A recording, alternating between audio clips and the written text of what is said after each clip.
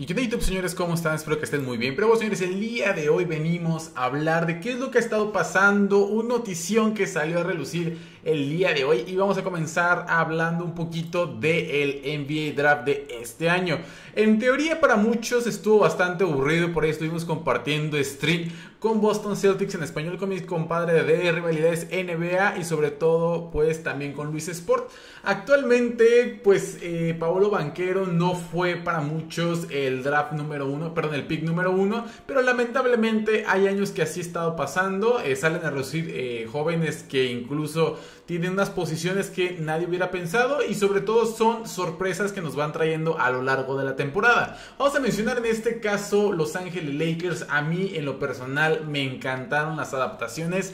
Fue algo que yo de broma lo dije, pero parece ser que sí se llevaron a cabo. En teoría Lakers con el pick número 54, un pick comprado a Orlando Magic a cambio de dinero, eligen a Max Christine. Eh, en teoría es algo muy curioso porque déjenles platico algo. Max Christine y Draymond Green comparten más eh, cosas que lo que la gente en realidad piensa. Ambos son el mismo pick de segunda ronda y además de eso ambos vienen de la misma universidad. Hecho lo reitera Draymond Green mencionando que eh, ese es como un pronóstico para ser superestrella y ya veremos qué es lo que pasa en las siguientes temporadas. Un joven de 19 años, votador, por ahí 6 pies 2, 6 pies 1.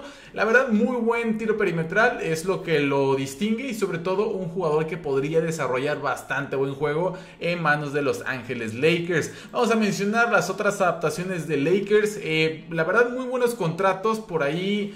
Eh, tienen eh, tres jugadores, uno de ellos no tan conocido, pero dos de ellos la verdad vienen de muy buena sangre de basquetbolistas.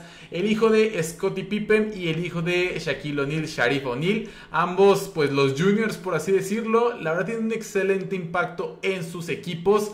En el caso de Scottie Pippen, recordemos que es de estos jugadores explosivos, es un jugador que para mucha gente dice, le recuerda un estilo muy similar al de Jamoran. De hecho, cuando entrenaba ahí con su entrenador personal, le mencionaba que hay que ver, eh, hay que tener como ciertos aspectos en el juego, hay que saber jugar lento como Luca y hay que saber jugar explosivo como Jamoran. Ambas partes las tiene este jugador y fue firmado en un contrato a dos vías, va a estar con la Liga G y va a estar con el equipo oficial de Los Ángeles Lakers y ya veremos cómo se va a desenvolver con la franquicia. El caso de Sheriff O'Neal es completamente diferente. Aquí hay una excepción bastante grande. Sheriff O'Neal es un jugador que muy poco se le vio oficialmente, tanto en la preparatoria como en selecciones eh, de otras ligas menores. Lamentablemente Sharif O'Neal no ha tenido muy buen estado de salud en los últimos años, fue sometido hace ya dos años a una cirugía de corazón abierto, tuvo una excelente recuperación, de hecho se menciona que fue lo mejor que le pudo haber pasado esta cirugía,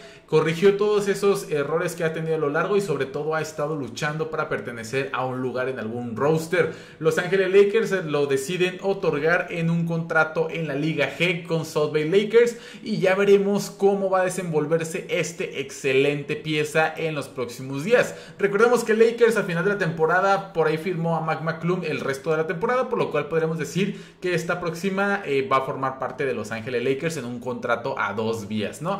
Vamos a hablar un poquito de Zach Lavin porque se está acercando la renovación con Chicago Bulls. En teoría hay dos cuestiones que podrían eh, evitar esta renovación o incluso ayudar un poco a lograrla. El problema salarial de Chicago Bulls es bastante grande. Por ahí Lonzo Ball, eh, Nikola eh, entre otros jugadores, eh, están interfiriendo un poco con el nuevo contrato de Zach Lavin. Zach Lavin estaría pidiendo 212 millones a cambio de 5 años, pero parece ser que no va a ser. Eh, el Chicago Bulls no tiene el espacio salarial para otorgárselo. Por eso mucha gente estaba marcando ahí a Zach Lavin en otras franquicias. Se espera que antes del día miércoles ya vaya a firmar su contrato. No sabemos si vaya a ser una extensión de contrato, pero lo más probable es que sí. Jugador franquicia, no creo que se deshagan de él, pero pues ya veremos, las cosas cambian como la noticia del día de hoy.